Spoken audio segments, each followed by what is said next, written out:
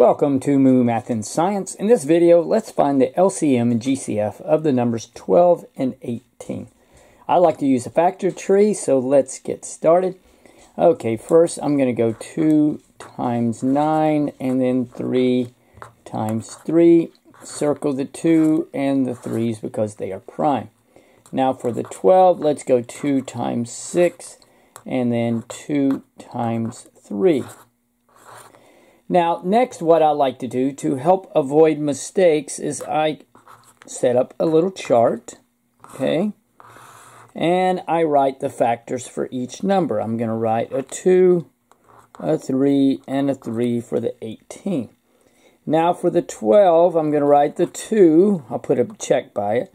I'm going to skip to the 3, and then I'm going to write a 2 here. Now for the LCM, basically you multiply these numbers together, but you have one exception. If you have two of the same numbers, so in this case you have twos in this column, then you just bring down one. So there's a two and a three.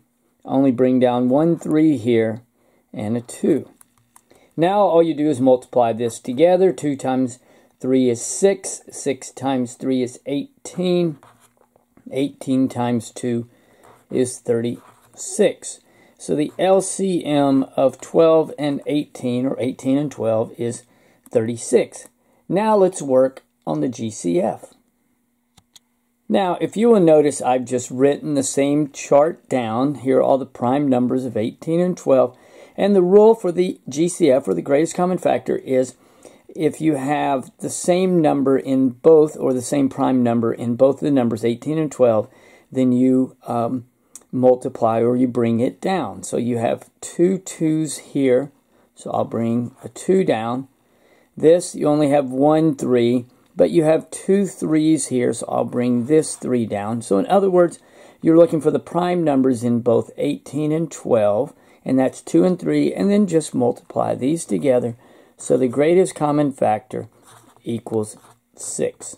So in summary, the greatest common factor is 6 and the LCM is 36.